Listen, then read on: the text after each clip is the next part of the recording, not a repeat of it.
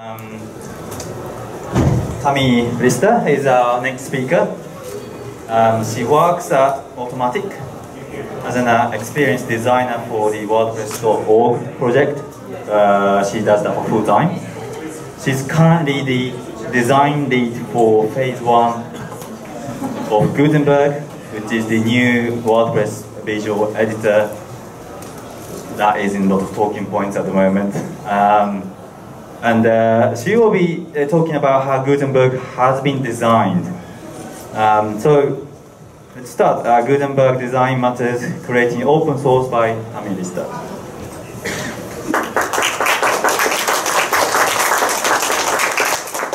Thank you. Uh, can you hear me with this microphone as well? Is this on? Just the microphone on? Yes. Oh. Uh, so, I said uh, Gutenberg is the new content creating and editing experience. And today I'm going to be talking about uh, some of the foundations of Gutenberg and also about what it's like designing in open source. And Gutenberg is going to be shipped in version 5.0 of WordPress. But why is this being created? Well, making rich content should be easier than it is today. How many of you have seen Snowfall? So this was a story that appeared a few years ago and showed that this is the type of content that is expected by everyone. We expect to be able to create this rich content wherever we are. We want to be able to post photos on the move, write blog posts during a train ride. We expect to read and be engaged, to not just have a wall of text. If we just want text, then we're going to save that to an offline service. The web has become an entertainment platform and not just one that delivers content. Without a change, the future of WordPress is uncertain, and we all have to face that.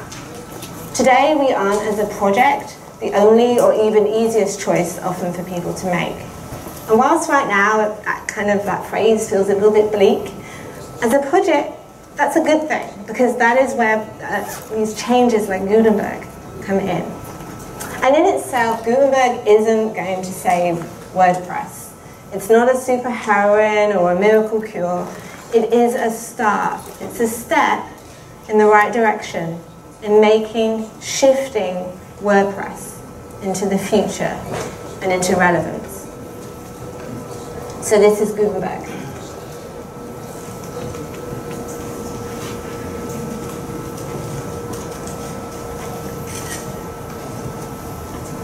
And Gutenberg has three phases. I'm going to take a little bit of a look at each of these in this introduction. The editor, which is the phase we're in at the moment, is the first phase. And whilst this is focusing on editing, the groundwork has been set for the next phases in the first.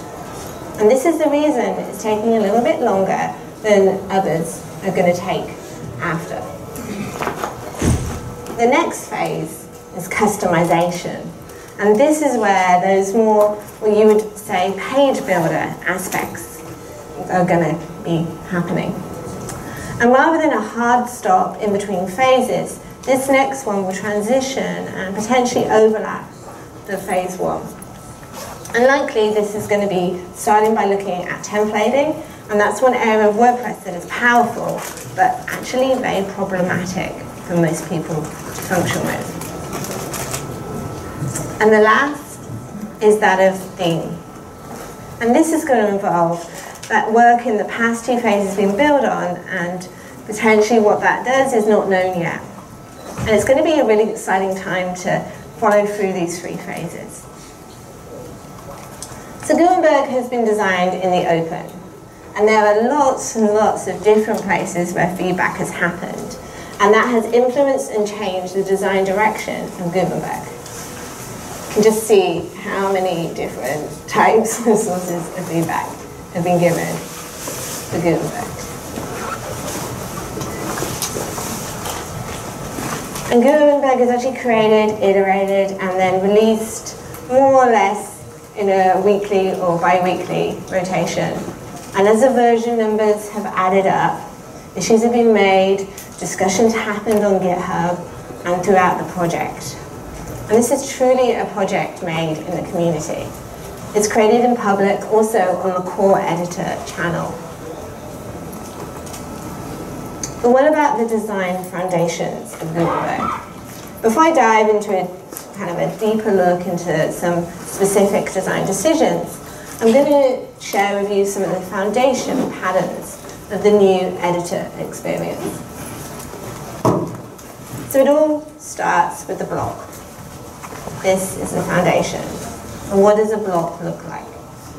Well, this is a block. You can set the position of the toolbar, and you can combine blocks to get that rich content that I showed you before. blocks allow for quick understanding. Once you understand how they you know, interact and you understand the block, you understand how to use all blocks.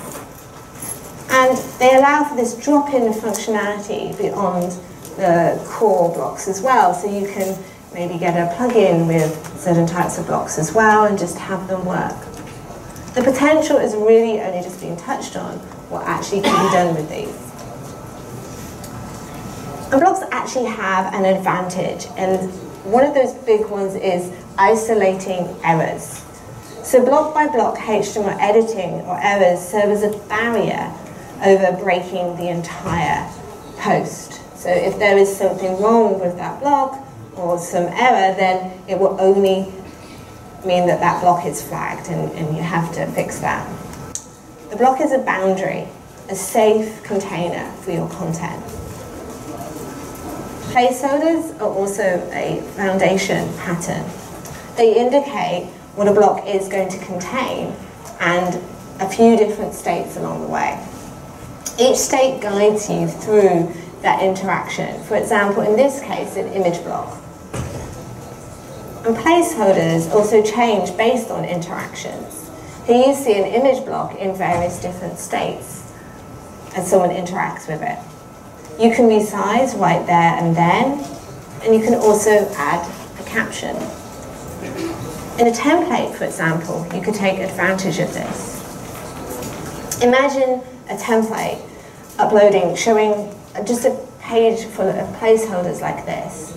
This is a lot better than an empty large input box, right? Nobody knows what to do with a box that just says content here doesn't actually say what type of content. It's not an indication of what the template will look like on the front and quite honestly a confusing experience for someone using it placeholders really progress towards a more what you see is what you get type of experience. So our brains actually don't handle everything all on the same level. We need to have options filtered. And Gutenberg, at its core, exposes all the options you need when you need them, nothing more. But our brains also won't, kind of, they don't work with having everything surface because they freeze. And we, if we have to search endlessly for something, we grow impatient and we just have a break with that experience. Frustration leads to us really not having trust with what we're interacting with. And nobody is going to want to use something that destroys that. Being able to have just what you want when you need it without having to hunt for options or really being overwhelmed is something Gutenberg is trying to achieve, and that's needs-based options. There are a few ways that this happens. The biggest one is through primary and secondary actions for blocks. Primary actions appear right beside the block. They are the must-haves. The things a block simply cannot function without for the majority of people. The expected options. Those are right where people need them, and there aren't so many to overwhelm, as you can see here with the paragraph. Just enough, nothing more. Secondary actions are in the sidebar, and these are reached by another key interaction element, which is the More menu. And this uses the ellipsis icon that is commonly used in a lot of other experiences. Here you have extras, things it's okay to discover as they aren't essential to the usage of the block. For example, as you can see here, styling options. By following a needs-based approach to options, the person actually creating the content feels more in control and by having those secondary actions, exploration can happen as well. Allowing for safe exploration is a key to interaction delight. And those little extra options, that secondary step, also makes sense. Someone discovers it and they feel an achievement. Another pattern is transformations, and that's of changing a block to another block. So why is this so important? Well, it's a way to change your mind about content. For example, maybe you just write paragraphs down the page and you're just writing and you're in the flow. And then you want to change that content and add some style and change to different blocks. Well, you can do that with transformations. And this all actually bolsters, uh, bolsters the actual flow of writing. Whilst not a pattern specifically, the different modes of Gutenberg are worth calling out as a recent feature because they're crucial to really giving that choice in how people interact. The first of these is Spotlight. Here you can focus on the actual content that's being interacted with. And this is a step towards a kind of distraction-free experience that a lot of editing has. And talking about distraction free, here you can see this mode takes it to full screen. This is still within WordPress. We've just, it's a layer that appears. And it even removes that WordPress wrapper so you don't have the sidebar. And you can focus on the actual content, nothing more. And that's great when you're writing. Where you have the toolbar is also up to you. You can position beside the block or you can have it in the top. It's really up to you for your writing style. And what about combining it all? I actually really like this as a writing experience. So those are some of the foundations in Gutenberg. But I'd like to share some actual examples of features that got made and designed in the open. And I'm going to dive into those. But before I do that, I wanted to share where you can find some of these design discussions happening if you wanted to participate and really discover them. If you're looking to get involved in Gutenberg from a design perspective, you can follow two labels specifically.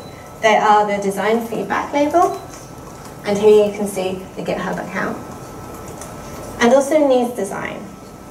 This is a great way with needs design to say, hey, something actually needs work on.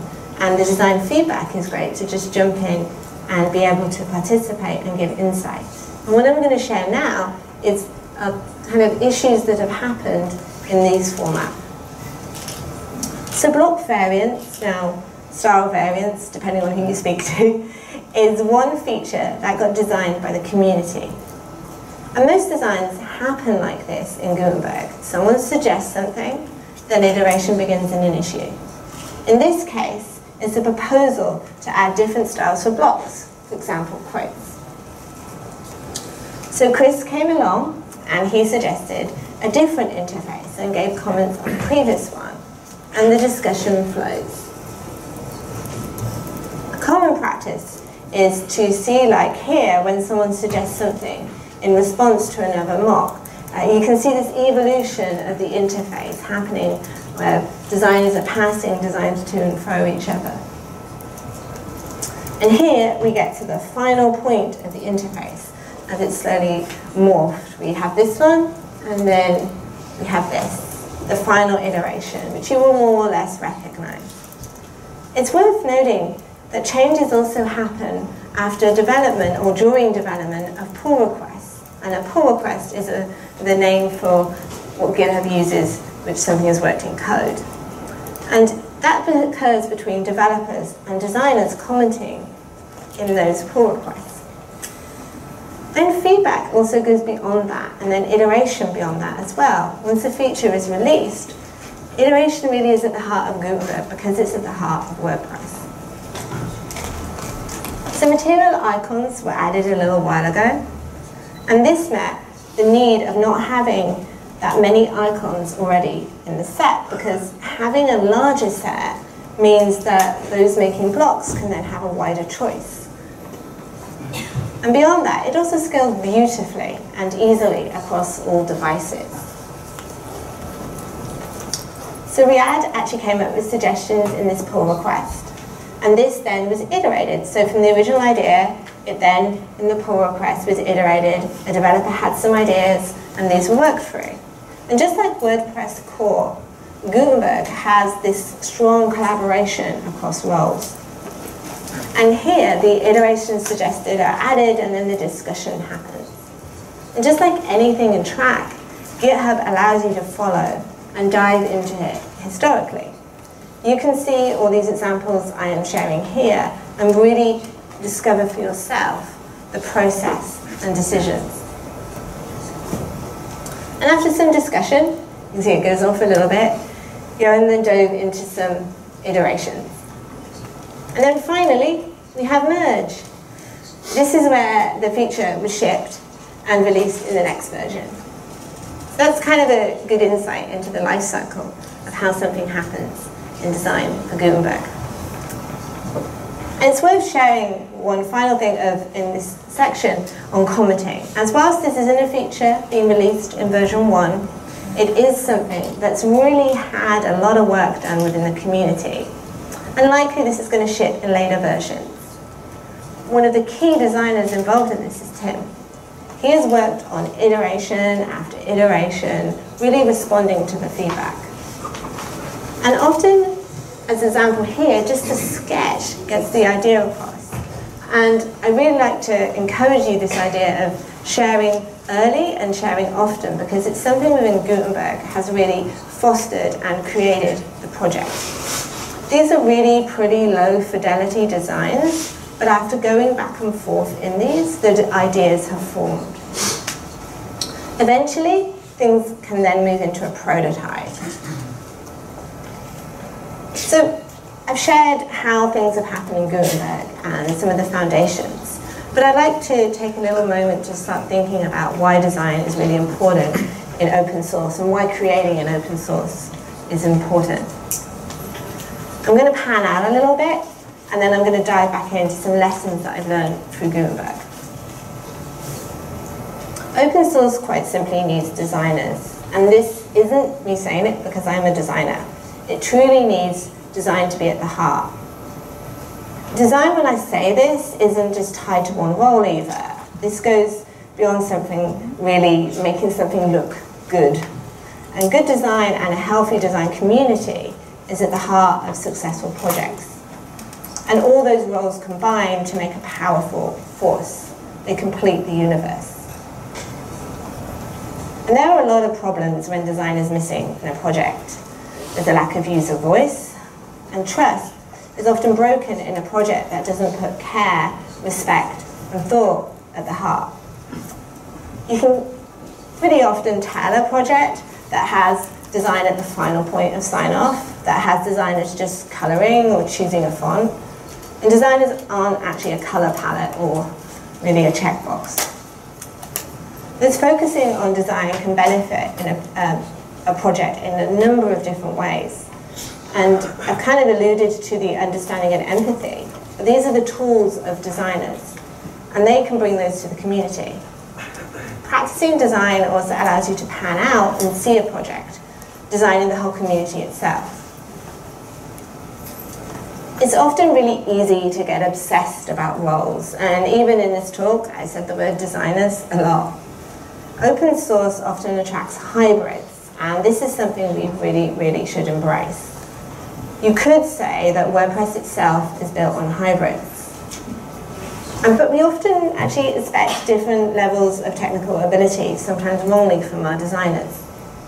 Being open to blurring and those hybrids is being open to everyone. Yes, most are going to identify as one role or the other, but as a project, we have to level up design across every single role. We have to be careful of really dismissing opinion, but respectful of those that have made it their life work and craft. But there's a problem. Being a designer in open source, if we're really honest, isn't easy. And beyond design, creating an open source today also isn't the easiest thing. Those tirelessly working can feel themselves drained, reduced to pixel pushers and polishers. And the design voice is often, unless space is given, quieter, and often an open source project is far from quiet. One of the ways we can solve this is through design infusion. That's making everyone in the project aware and activated on design. I'm not saying that you need to remove the role of design at all. It's about really using that valuable resource and getting everybody infused with that design because a community that has that runs deeper. It's empathic and it has experience at its core. The voice of the users are going to shout from every single corner. A good community for design is actually just a good community. And what do I mean? Because that's a pretty broad statement. Well, often the way things like this mean that when you create a good community like this for designers, everybody will also thrive. A community needs to have, give space for voices. And how do we actually do this? I'm going to share some points that I think would be really good. Researching suggestions is a big one. So before you suggest something on an issue or on a ticket, really investigate if you're coming into something midway, really get into kind of the archaeology of that ticket. And this goes even more so the deeper and longer the project has been running for. It's likely that it's come up before. And whilst you absolutely may have the key to unlocking, knowing context also helps so much. And it may also be that you actually have the key for another lock. Another really simple thing to do is visualize everything. Take a screenshot for your pull requests and your issues. Designers are amazing, but we are not mind readers. And beyond this, don't just stick to words to describe something. The reality is that actually every single person can in some way draw. And embrace sketching no matter what role. I really believe that everybody should be doing that get an idea out visually, uh, even if it's just rough shapes or copy and paste it together with neon arrows. It matters so much. All voices need to be heard, and to do this, a culture of feedback needs to be cultivated. Space should be created, and the community really shouldn't be focusing on who is shouting the loudest. Feedback needs to be learned and it's an art form that really should be practiced by everyone in the community. A community's ability to give feedback or not is kind of an indication of its health. When a healthy feedback culture exists, every single voice flourishes and is heard, and respect goes through that community. This is probably the hardest thing to do, and really, that I'm going to share now, and that's make a safe space for ideas to grow. From allowing experimentation through to giving space to just see if an idea has form. This is how boundaries have pushed and really incredible work happens. And don't worry about how fully formed something is either. Allow people to share early, share often, and really don't judge that work if you have that culture of feedback I mentioned earlier, those ideas are just going to shoot and thrive. So this one really isn't easy to do as a discipline, but don't discuss away from where the action is happening too much. Don't use Twitter or Facebook to steer or guide an idea. Sure, throw ideas out and iterate if that's your platform of choice, but bring it back to where the work is going on if someone has to follow too many platforms to get feedback, their work is going to suffer. And even worse, that feedback, which is potentially amazing, is going to be missed. The best solution may just simply never have been heard, and that would really be an incredible shame for the project. This has been a little bit of one of the issues with Gutenberg, and one I would say we all have to work to get better at doing. So designers, and in fact any role, needs to be onboarded into a project. You can't just land someone into a vast universe of an open source project and expect them to survive. Onboarding should also adapt and be iterated.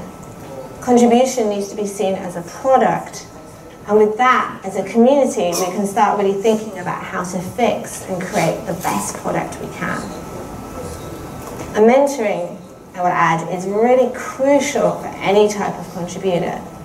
And this goes beyond that onboarding or that initial stage and can answer a lot of the time zone and diversity issues that face when someone's new to the project. It's also a two-way project uh, per, uh, experience. I don't know if any of you have had the pleasure of being a mentor, but you learn so much. This one is hard, uh, something we actually do right now we have a design team. And that is in many respects isolated from other roles. But as has been seen from other projects, design needs to be truly in all areas and infused across the project. Creating safe paths and bridges and empowering designers to go off and choose their own adventure across the entire project, that's when success happens. This one sounds a little bit obvious. We want to care for everyone, right? We have to, though, recognise that different types of people, those that focus on roles, for example, may need a different type of space. Ultimately, any space that is caring will be better for everyone. And this really gives the space for everyone to be heard and speak up.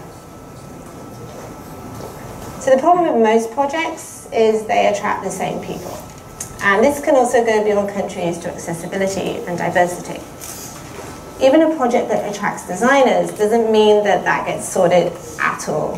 Uh, it potentially just attracting the same type of designers. That's still not good. This is a challenge, but it's one incredibly worthwhile pursuing. By having a wider variety of different designers, you're going to end up with a rich, deep pool to create from, and that can only be a good thing. So that was quite a panned out look, and I'm going to go back and have a look at what I've learned from doing Gutenberg and from creating in that space. Design-infused developers, I really think, are the future. Designers are often in projects a scarcer commodity, and that becomes a problem when we force them to do everything all the time, over and over. By infusing developers with design, some of the burden gets spread. Developers also become empowered. They're not just waiting for a designer to do a bit of work. Conversations happen. Ideas generate, and an incredible workflow occurs across both roles. This truly is where the exciting things happen in a community. A good first pass can be made in patches once the developer activates with design, and then the designer can be engaged. This saves time, and then issues can be iterated by expressing in design, and that includes that conversation. Feedback processing needs to be done by anyone in the project. We really need to find a way forward, as I mentioned earlier, for these disparate sources and really look at how we can tile that feedback and get it to the right places. I don't have a solution, but it's something that I think needs flagging and it's something that we really should all work together to make sure that we're getting the right feedback in the right places. And similarly to design infusion, working in cross-discipline teams uh, is priceless. It really is. What you maybe haven't seen so much in Gutenberg is the cross-discipline interactions. The way developers have influenced design and the way designers have embraced development. I kind of have used the term UX developer because I firmly believe that exists in WordPress and it's something we should be embracing. This is a hard one for me because it's been a big lesson. As a design lead of Gutenberg, knowing when to make a decision or when not to make a decision is something that I've learned. Yes, at all times you need to listen and be open to changing over a set direction in your mind, but you also need to make decisions. As a project, we have this amazing future of iteration that's out there, but we sometimes forget that we have that possibility to do that. Just because something goes one way, we aren't actually casting it in stone. Similarly, those we let lead, we need to enable those to make the decision and enable more people to lead and make those decisions. It's actually a personal challenge for me because making a decision is something I find really hard. I shy away from it. But it's something we all need to embrace. So we expect designers to do a lot of roles when we have a very scarce commodity. And this goes the same for anyone that leads in our project right now. Just like designers, they are scarce. And this is wrong. We need to make space for more people to lead. And we need to create a community and tools where everybody can thrive. And if a designer thrives, remember, a good community for design is a good community for everyone. I know because I think like anyone that contributes, you get feel the pressure to do everything. And we have to change that because we can't just teleport a lot of people of a particular role into the project. We really have to use the people that we have in the most effective way so that they don't burn out and that they can be there for the long term. As a project, we also really need recognition. A lot of the work that people do is invisible and that needs to change. We need to make visible what a lot of that work is done and recognize it. Tools are really, really important. Our tools we use in GitHub are slightly better than Trac, but they don't actually recognize designers or the way that work actually happens now. They're fragmented. We use many, many different tools to make up one flow.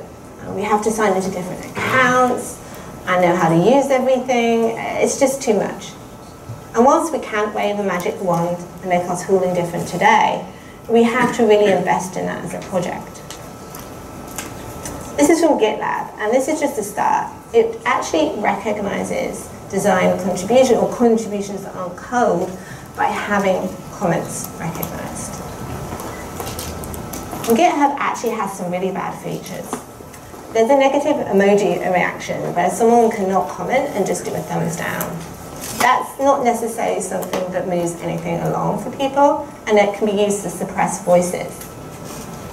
These tools that we have can be an instrument for building a, a better future, and we need to do that. As a project, we need to focus on creating workflows that nurture and allow many in that role to thrive. One of the things I'm sure we need sooner or later, I would say sooner, is a design system.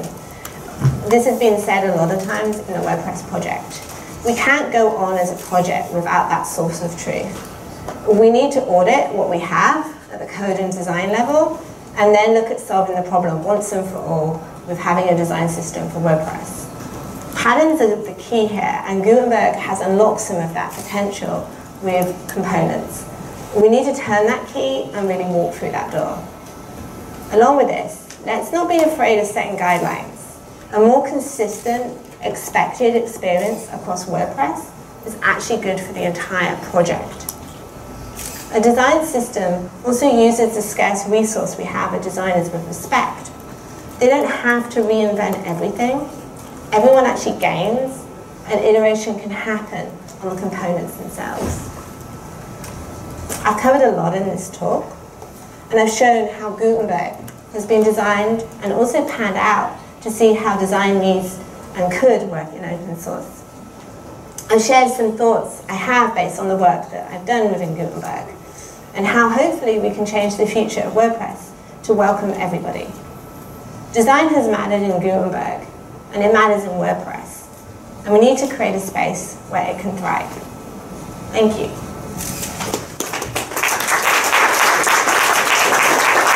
Thank you, thank you, Tommy. Um, we got a few, I think we got quite a few minutes uh, for questions. Um, so if you have any questions,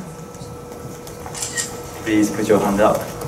My slides are available there as well. あ日本語でもあのいいですああのこのスライドは今日のスライドはあの一番下の URL に書かれていて後で、えーえー公式ツイートはツイートしてくれるかなあ the let's have to do this in English um, the URL of the slides at the bottom there um, think you might get a tweet later. Um, えっと、質問は日本語でもいいです。あのー、通訳してくれるので。Any questions? Anything?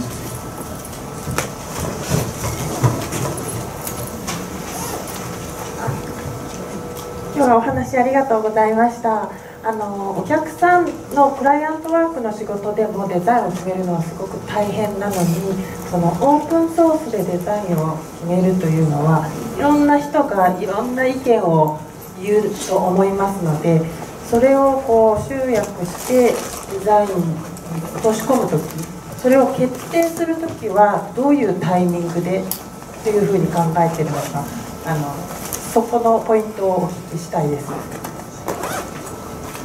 Um, I'll try and summarize that. um, uh, what, how do you incorporate, at what time do you incorporate uh, feedback and different opinions into design? I really hope I got that. um, all time.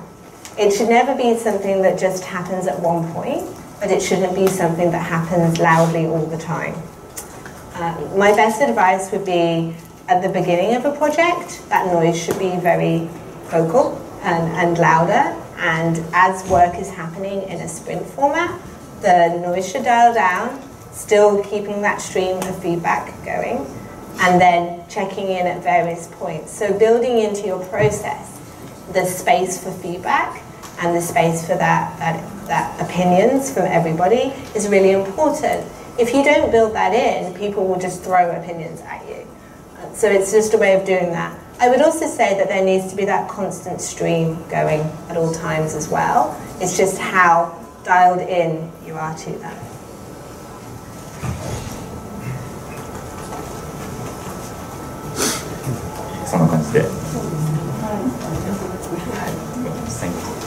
Okay.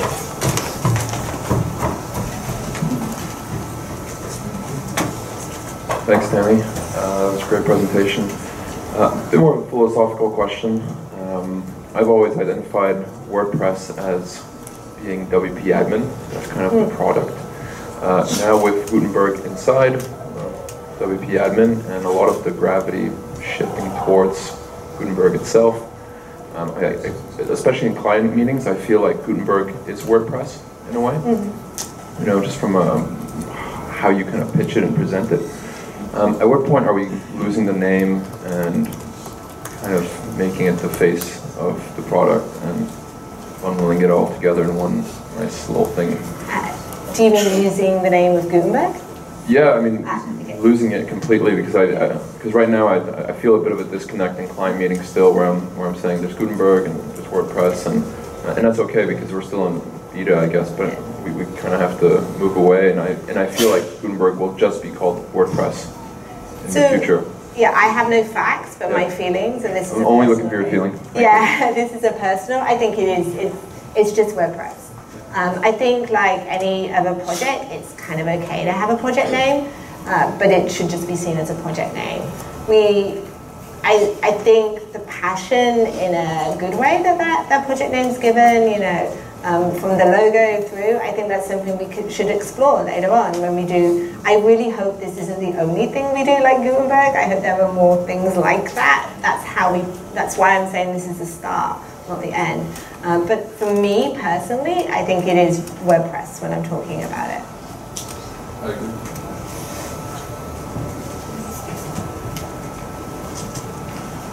Thank you very much for this amazing talk. It was very um, uh, you just talked about design system for WordPress, and it's really uh, uh, such an amazing idea.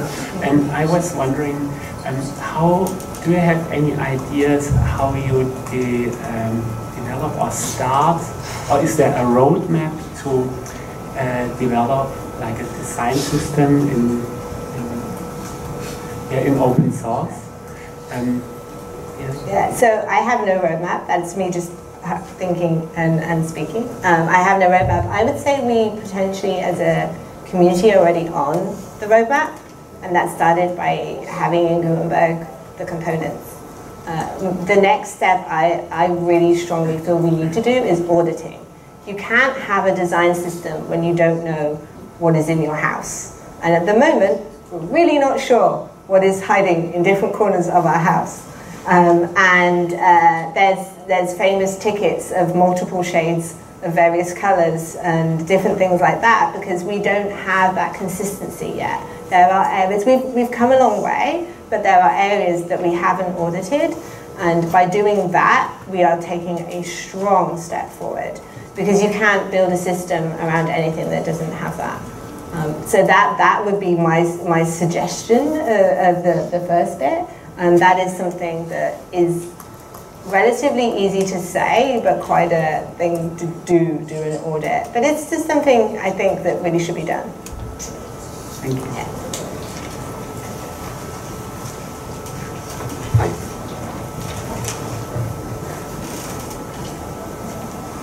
素敵なお話をありがとうございました あの私はあのグーテンベルグの、えーグーテンベルグの、えーデザインのコンポーネントやデザインシステムにとても興味があります。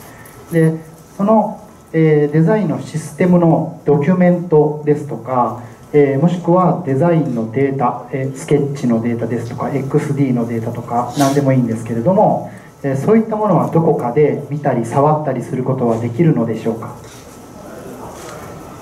So you're asking if you can have uh, access to the documentation for Gutenberg? Is, is that correct?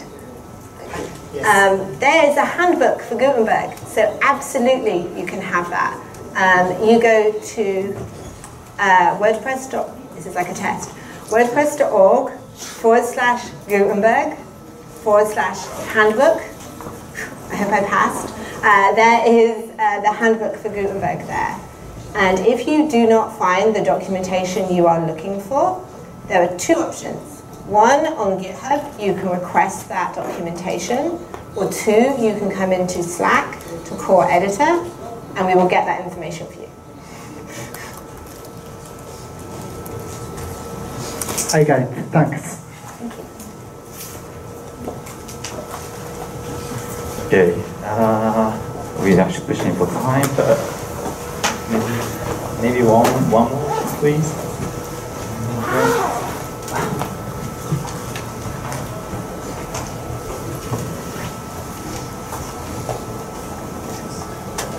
Hi. Um, so, so out of all the different um, UI elements and features that have been shipped so far, uh, which ones do you feel like you kind of need to go back and reimagine? Like, which ones do you feel like if you could go back and fix them?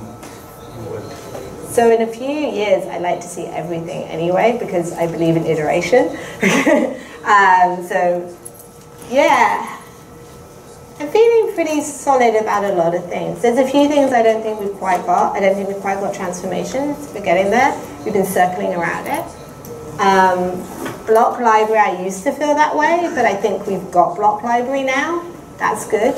Um, so I think from listening and exploring, I think we're getting to a good first. I don't know if you know, there's a system of like cupcake, birthday cake. I prefer it than the skateboard scooter car because it's just more delicious. Um, and I feel that we're pretty baked for our first version from a UI. And I think if we change too much now, we'll be doing this for another two years, and it's actually a good thing to ship something.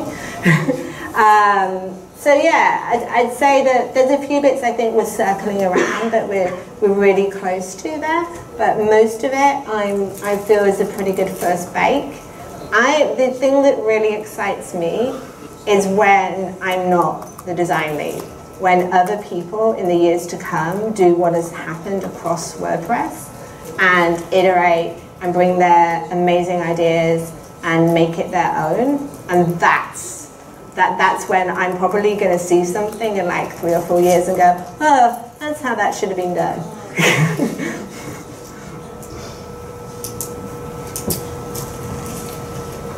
Okay. Um, can, can I ask one more question for Yeah. for myself? Yeah. Because um, uh, we never had uh, someone who's so involved with WordPress design stuff from our side uh, to speak about anything.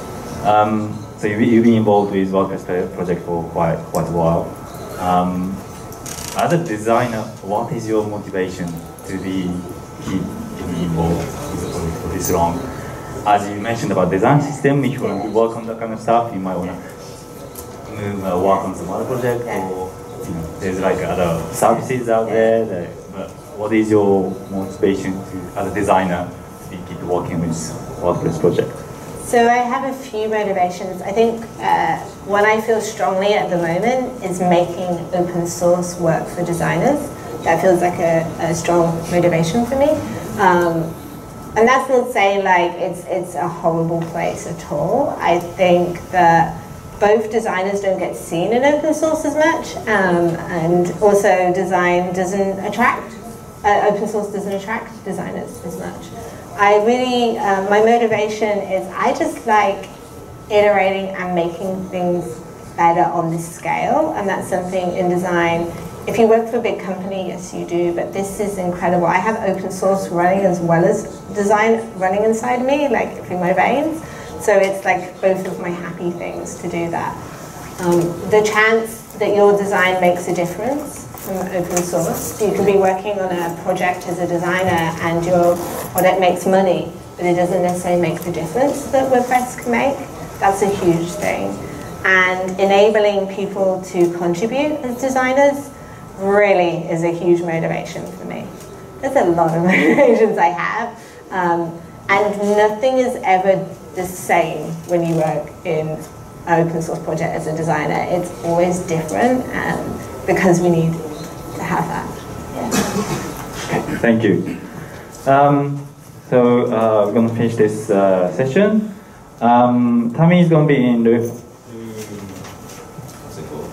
Oh, room I, the Wapuu Cafe, after this for a bit. So if you anyone want to chat with her, ask about anything about Gutenberg, you can find her questions. Um, if you're not, um, and she'll be here for the rest of the day, so catch her there too. Um, so, and if you uh, are unsure about English, please grab a staff from somewhere, and I'm sure they'll translate into Japanese English. So, um, please give her a big applause once more. Thank you so much.